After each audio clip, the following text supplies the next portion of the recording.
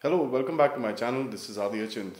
Now, there is a very funny fact check that I'd like to do with this video because the Chinese, as usual, are at it pretty hardcore with their psychological propaganda against India. There is a latest news story that came out which talks about the Dean of the School of International Relations in Renmin University of China, who's called Jin Canrong. He made a claim on a TV program on the 11th of November that the Chinese had used directed energy weapons against the Indian forces lodged up on the heights against the Chinese forces in Ladakh. This attack supposedly happened on the 29th of August. There is a video clip from this program which is pretty much going viral on social media, and I've seen recently it's started trending on Twitter in India as well. This talks about Chinese military and its innovative advancements and the use of high powered microwave weapons. And it talks about dislodging the Indian soldiers from the heights of various strategic points in the clash between both the armies in the areas or various regions of Ladakh. He said this, and I quote Our military emitted microwaves from the base of the mountain towards the mountain peak where the Indian soldiers were taking positions, converting it into an oven, which, is, which resulted the Indian soldiers quickly withdrawing from the dominating positions, he claims in the program. First of all, let me just explain what is this microwave weapon that they're talking about. This is a weapon which is in the category of the directed energy weapons or DEWs, which is a ranged weapon that damages target with highly focused energy of various kinds. For example, laser, microwaves, particle beams, sound, so on and so forth. Potential applications of this technology currently are being used and in anti-shipping, anti-missile and anti-aircraft roles.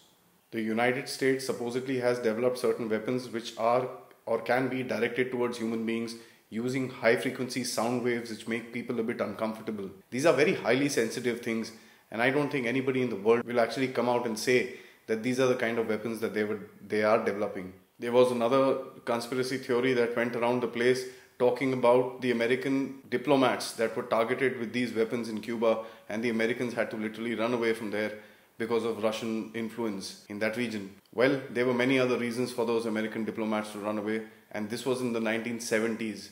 So I'm not sure how much of these weapons were developed, and if they were developed in 1970s, why aren't they wide in the open as of now? Couple of points that I'd like to bring about to fact check the psychological warfare propaganda business of the, the Chinese Communist Party. I think they do it pretty well. Here are some fact checks which uh, the good professor ignored before he opened his mouth and gave out statements that he had no business to talk about. The first one, he says that this attack happened on the 29th of August. Well, there are reports which say that on the 10th of September, the 17th of September, and the 21st of September, India took in more heights and occupied more territory in the strategic locations in Ladakh.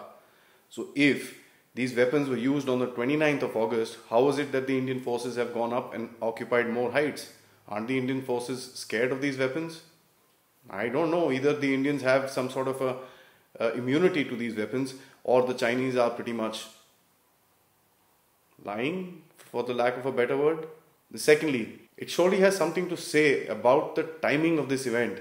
As a matter of fact, Indians have been very, very hard bent on their demands for the Chinese to move back from their positions and give the rights to the Indian soldiers to patrol the areas that they were doing for so long. The Chinese, of course, have been begging the Indian command at the corps commander level talks which are happening pretty much every second week to vacate the heights as they are feeling vulnerable about their forces positioned in those areas. Now, it begs the question if the Chinese have these kind of weapons, why can't they dislodge all the Indian forces in that area? The liberal media across the world and the biggest of the big newspaper names, which I'm sure all of us know right now are the biggest publishers of fake news in this world, have caught on to this story and of course, India bashing is one of their favorite habits. That is why these things are featuring on pretty much their first pages and everything. I'd like to ask them one simple question. If the Chinese have used these kind of weapons, which are microwave weapons, and of course, this professor actually talks about the fact that the hilltops were converted into microwave ovens. That's why the Indian soldiers were feeling so hot and nauseatic and they had to run away. These hilltops, right now in the month of November, are pretty much covered with thick layers and layers of snow. When you fire a directed microwave weapon on towards such a target, won't the snow melt? Won't the guy sitting at the bottom of the mountain literally be drowned with the water that comes out of the smelting ice? Seems a little unlikely for the Chinese to figure out something like this. And a professor sitting in Beijing, which is almost 3000 kilometers away from this entire region, talking about something like this just to create some false propaganda within their country. By now, I think we all understand how the CCP works and how their propaganda mouthpieces come out and talk utter nonsense that cannot even be believed by their own people. I'd like to also further ask the liberal media of the world why don't they check the timelines? If the attack, as I said, happened on the 29th of August, why is it that they published the facts that the Indian forces went up and took strategic heights in Ladakh on the 7th, 10th, 17th, and 21st of September? It's there in their newspapers. Please check it out. You will not be able to ask them because they have no answers for something like this. They just want to harp about the fact that the Indian soldiers are getting lost, which is something I feel is their favorite pastime. Doing India bashing gives them a lot of votes because at the end of it, today India is a rising superpower and they just cannot see that happening. This gentleman also said that India has no such weapons that can even counter China on this. Well, let me tell you the deployment of this weapon.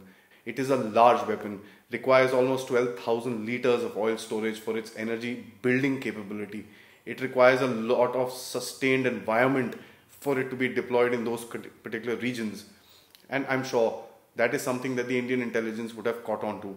If we knew what their movements were across the border and we took preventive actions to make sure that the Chinese could not be in advantageous positions, you think the Indian forces are that stupid not to realize something like this? Now, directed energy weapons are also being developed in India it is called the Kali, K-A-L-I, which is the kilo ampere linear injector. It is a linear electron accelerator being developed in India by the uh, DRDO as well as the Bhabha Atomic Research Center, which is the BARC.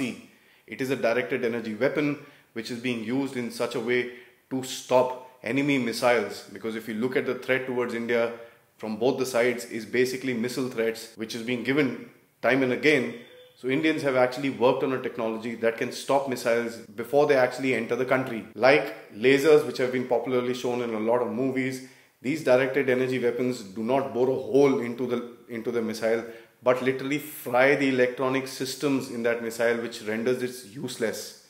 These weapons and their development across the world have been done to ensure that it fries up the electronic devices that are being used the circuit boards in those devices that are being used by various armies and to render them useless for use against their opposition. There are various versions of this Kali which is at Kali 80, Kali 200, Kali 1000, Kali 5000 and Kali 10,000. Supposedly these weapons are top secret, not much details are known about them and one of the only news snippets that I could find around was Kali 5000 has been deployed in the year 2004. There is also an unconfirmed report which states that India had actually tried the use of this particular weapon sometime in 2012, melting a huge amount of ice in the Siachen glacier, resulting in the death of about 135 Pakistani soldiers deployed in that area. As I mentioned before, when you fire a microwave based weapon, it will melt anything in its path. Now, it is a wonder that this Chinese so called professor comes out and says that they have developed a weapon that can only target human beings and nothing else it does not affect anything else. He mentioned very clearly that it was a microwave weapon that was targeted.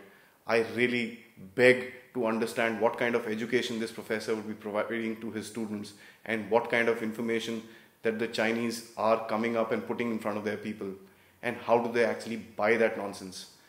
It is also a true testament of the fact when the Chinese are going to put out such propaganda, such stupid lies about what they are doing, it just shows how desperate the Chinaman is to make sure that he is somehow able to take an advantage over India.